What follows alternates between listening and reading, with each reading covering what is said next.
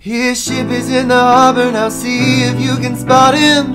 Another immigrant coming up from the bottom. Me, I fought with him. Me, I died for him. Me, I loved him. Me, I blew him in an alleyway for 30 bucks cause I needed the money for ink. I was running low. there is a price on my head in Williamsburg, Virginia. Someone please watch over my livestock. They're all gay. Alexander Hamilton.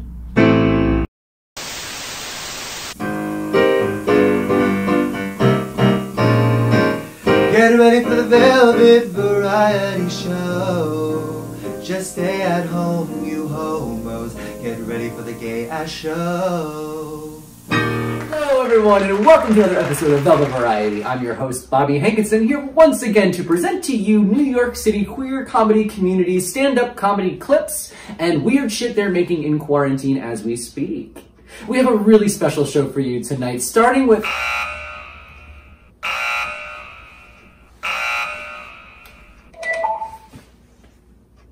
Incoming broadcast. It says, the producers have a message for you. What? From the people who brought you The Circle, Love is Blind, and other shows that make you wonder, hey, did Netflix plan this pandemic? Comes a new social experiment. We took the hottest people we could find in this one bedroom apartment. They're horny, they're young, they've got nowhere else to be. Will crack up? Who will break down? And let's not forget about that twist.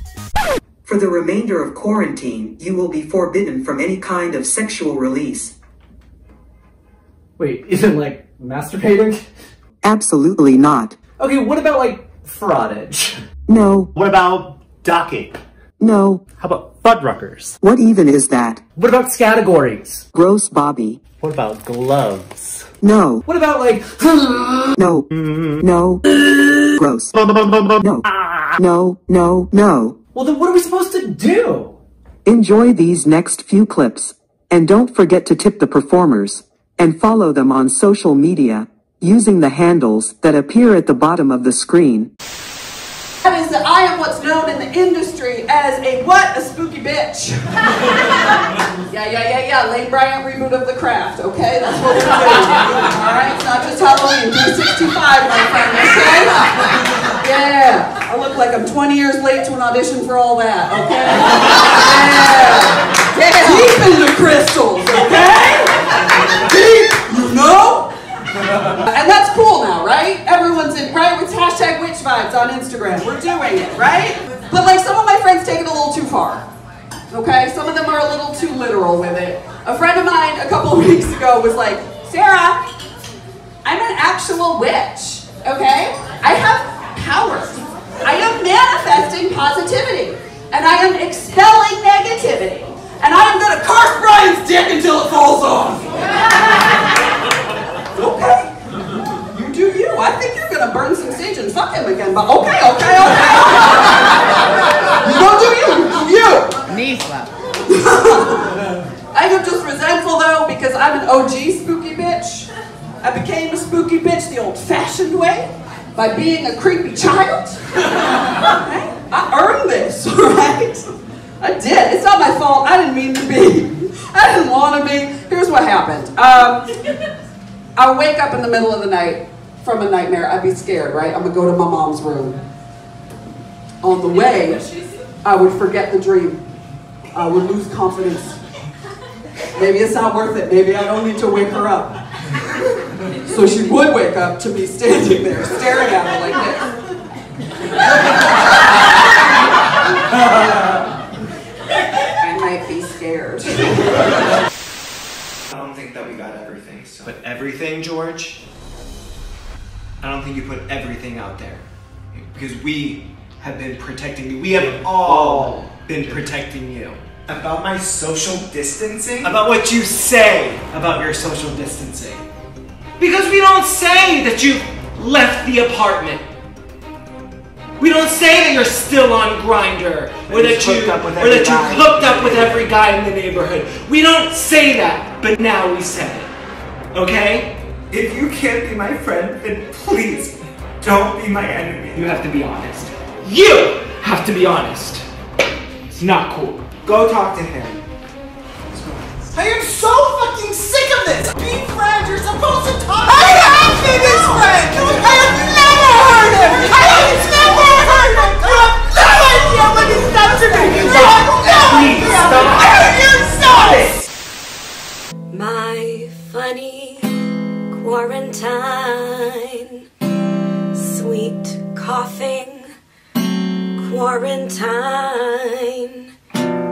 You make me smile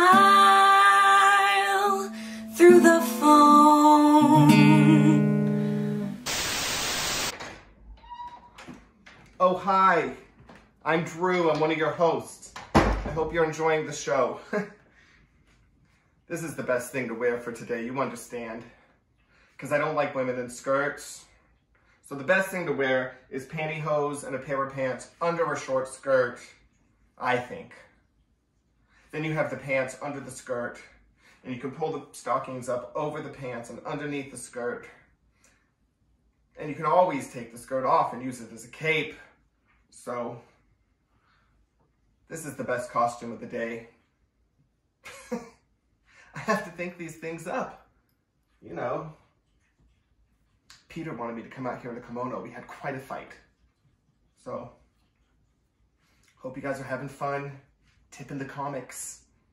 And coming up next, we have comedy from Yaz Fest, queer comedy competition at the Broadway Comedy Club. So, enjoy.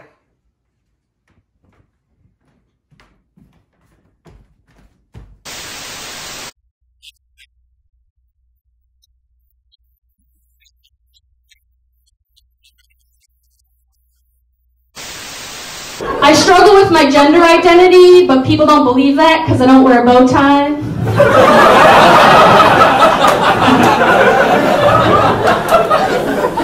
uh, part of my relationship to gender is that I wish I had a dick.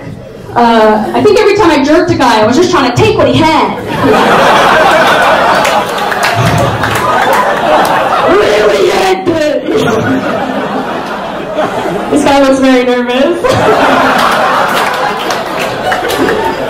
Don't worry, you can buy them at stores. Uh, I did. I bought myself a packer. Uh, if you don't know, a packer is like a soft dick and balls. Uh, it's like a sad dildo. It's like if a dildo got bullied in school. It's like if Eeyore was a dildo.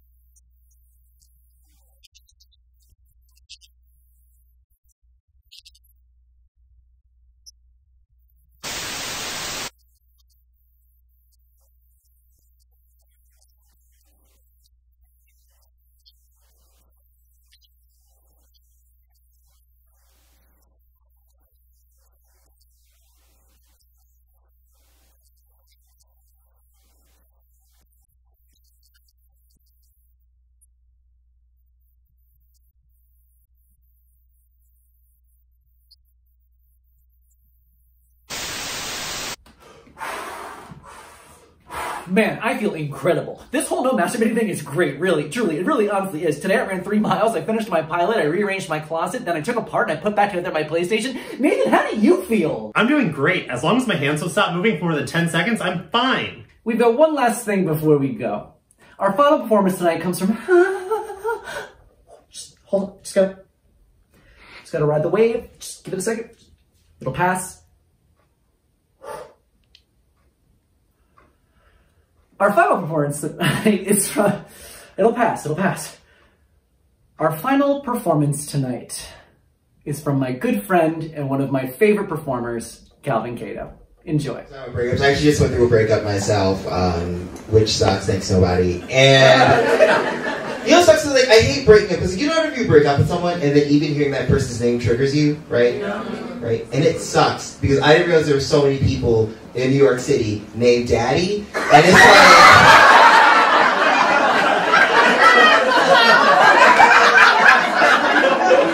Such a conundrum, you know? I think there's nothing in the crowd. It's like so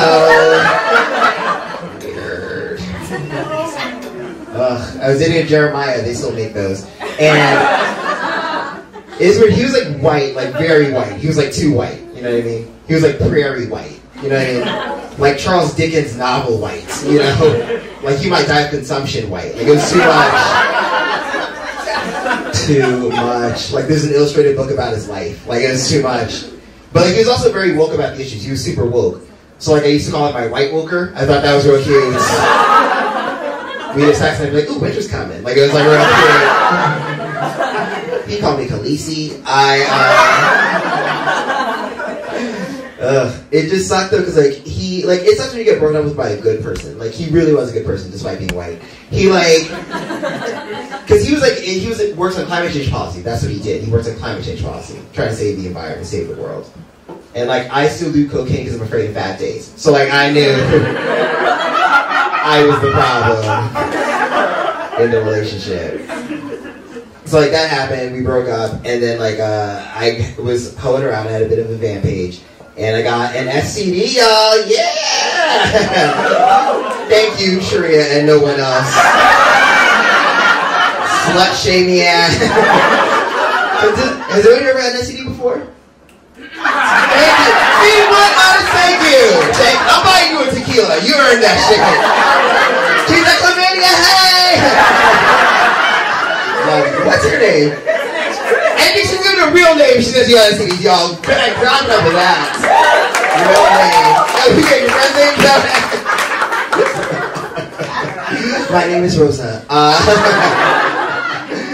it was wild. I, so I had something, and I had to go to a free clinic because my health insurance is prayer. It's not working out.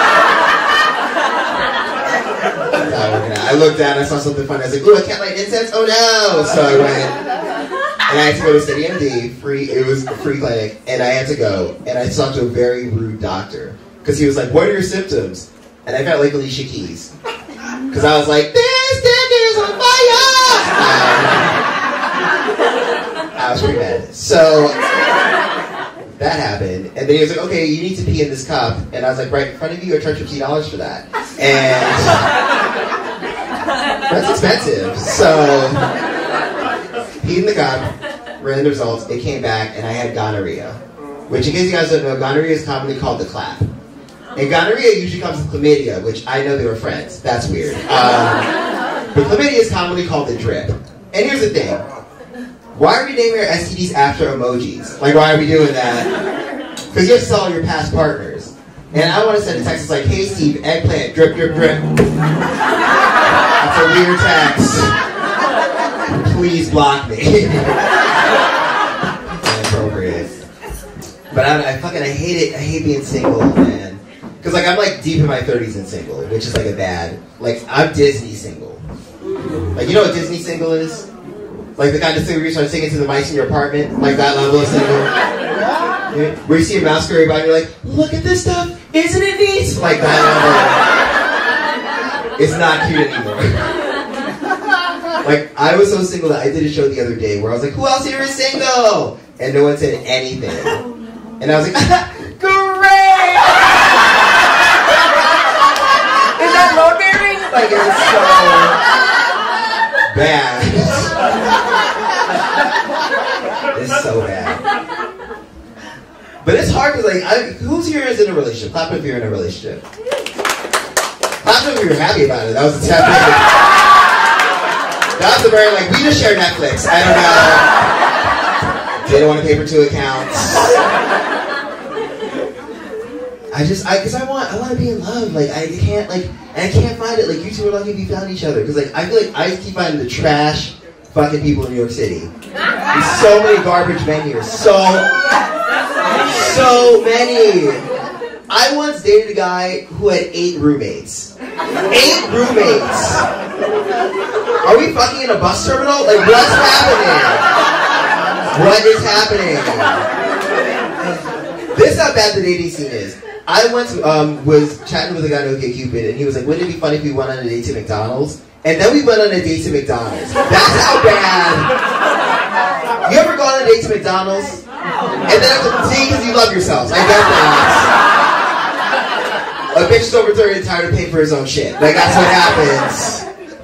But the worst part is I wanted to say McDonald's and I have to pay for my own shit at McDonald's. That's rude. You get coupon books in the mail. Come on.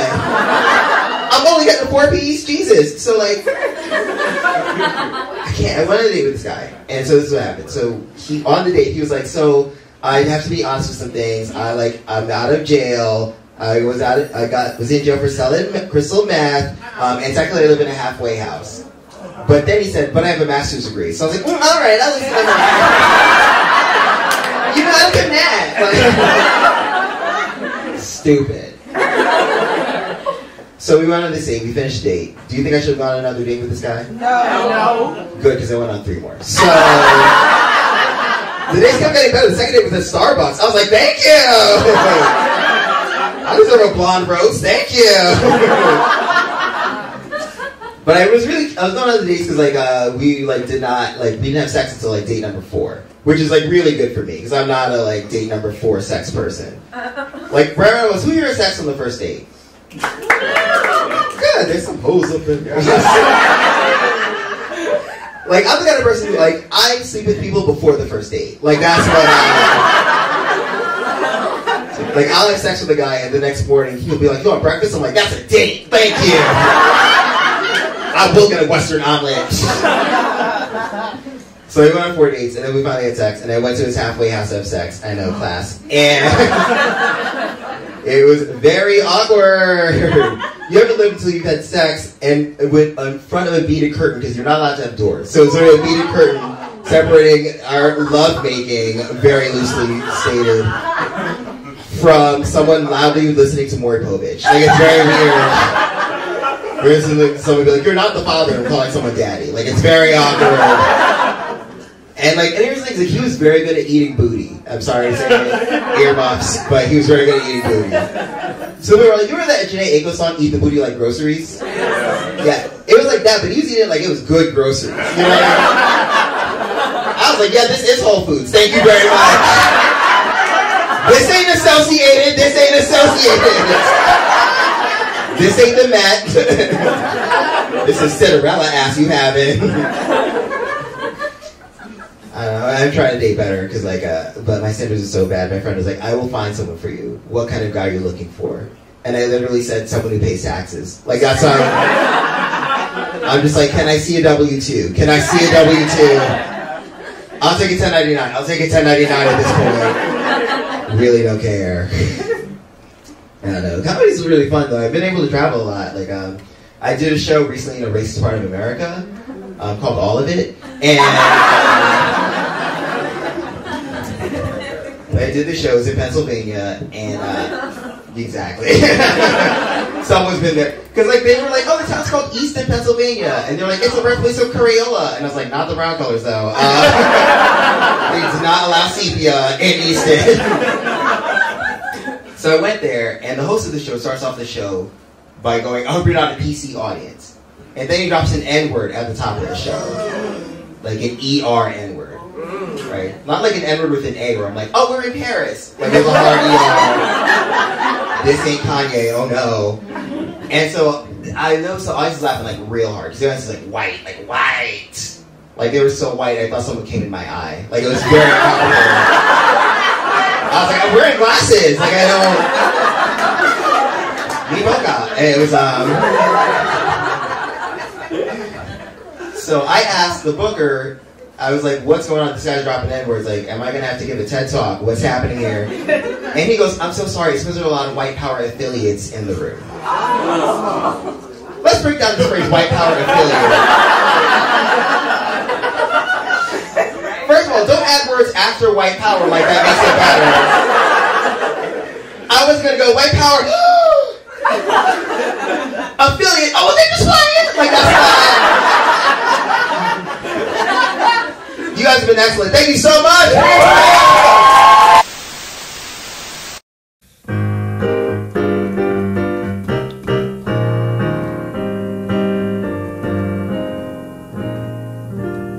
Go to bed, bitches. I called his office. I'll keep calling his office. Till he comes home to me. 呵